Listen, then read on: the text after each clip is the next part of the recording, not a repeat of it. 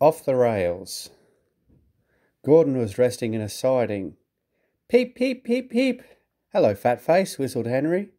What cheeks, spluttered Gordon. That Henry is too big for his wheels. Fancy speaking to me like that. Me, he went on, letting off steam. Me, who has never had an accident. Aren't jam whistles and burst safety valves accidents? asked Percy innocently. No, indeed, said Gordon huffily. High spirits might happen to any engine. But to come off the rails, well, I ask you, is it right? Is it decent? A few days later, it was Henry's turn to take the express. Gordon watched him getting ready. Be careful, Henry, he said. You're not pulling the flying kipper now. Mind you keep on the rails today. Henry snorted away. Gordon yawned and went to sleep. But he didn't sleep long. Wake up, Gordon, said his driver. A special train's coming and where to pull it. Gordon opened his eyes. Is it coaches or trucks? Trucks, said his driver. Trucks, said Gordon crossly. Puh! They lit Gordon's fire and oiled him ready for the run. The fire was sulky and wouldn't burn, but they couldn't wait, so Edward pushed him to the turntable to get him facing the right way. I won't go, I won't go, grumbled Gordon. Don't be silly, don't be silly, puffed Edward. Gordon tried hard, but he couldn't stop himself being moved. At last he was on the turntable. Edward was uncoupled and backed away, and Gordon's driver and fireman jumped down to turn him round. The movement had shaken Gordon's fire. It was now burning nicely and making steam. Gordon was cross and didn't care what he did. He waited till the table was halfway round. I'll show them, I'll show them, he hissed, and moved slowly forward.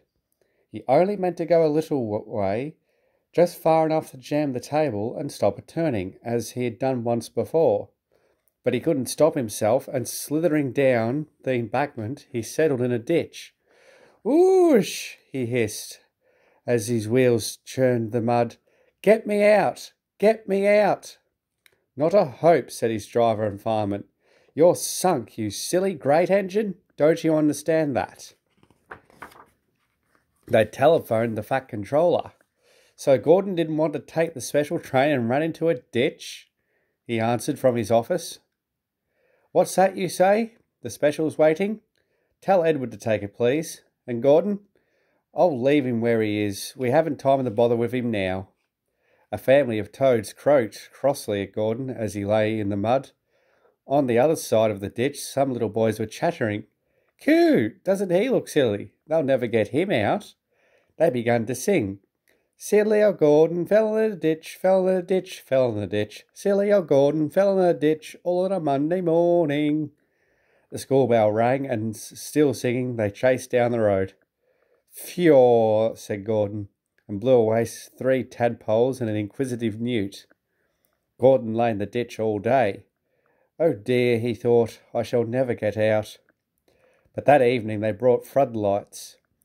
Then, with powerful jacks, they lifted Gordon and made a road of sleepers under his wheels to keep him from the mud.